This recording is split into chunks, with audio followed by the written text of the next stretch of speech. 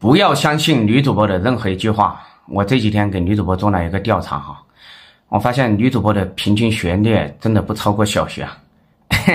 先别急着反驳哈，好，你们眼里那些光鲜亮丽、高学历、正能量的女主播哈，几乎都是一些网红公司包装的哈，他们的话术神奇的一致哈，四五十岁的大妈统一年龄都是九零年。我昨天连续连了六七个那种老大妈嘛，好，他们都说他们是九零年的，没有九一，也没有八九年，都是九零年哦。你看一下多巧是吧？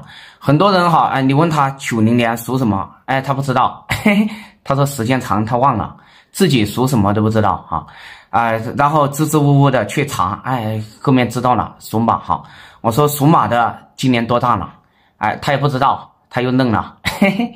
好，而且个个都是单身。啊！你想一下，四五十岁的人了，哎，话术都一模一样啊，都是受过伤的，哎，都想找个对自己好的，啊，有时候我都在想哈，这些老大妈，哎，天天说自己单身，有人信吗？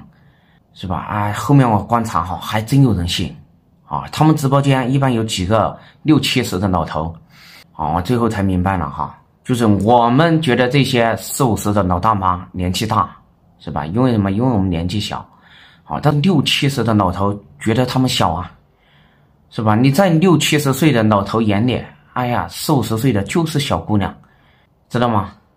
其实是一样的道理。我现在看十几二十岁的也是小姑娘，是不是啊？啊，这些老大妈还动不动就是清华北大的，哎，要不然就硕士，要不然就博士学历啊。你问他什么专业的，他不知道什么叫专业。嘿嘿。